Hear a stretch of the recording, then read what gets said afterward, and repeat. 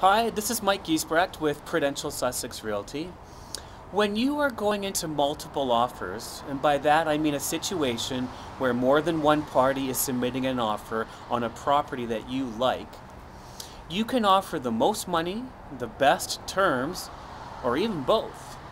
Money usually trumps everything else in these situations, but if you are unable or unwilling to go beyond a certain number, then make your terms as attractive as possible. Less is more here, so have less subject clauses on your contract if possible. If available, ask for all the documents, title search, property disclosure statement, meeting minutes, etc., before submitting your offer. If everything checks out, one less subject clause. If you are going to do an inspection, have it done beforehand. There is a risk here of losing your money if you happen to be unsuccessful in your bid, but sometimes it is worth the risk.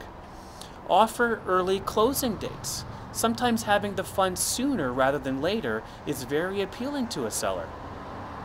There are a number of other things you can do to increase your likelihood of success, and I would be happy to discuss those things with you another time. I would like to say too that even if you are unsuccessful, don't lose hope. You never know what is going to happen, and buyers are often unable to follow through on their commitments. You may just get a second kick at the can. Good luck. This is Mike Giesbrecht with Prudential Sussex Realty. If you'd like to make a comment on this video, please email me at mike at mikegiesbrecht.com. Have a great day.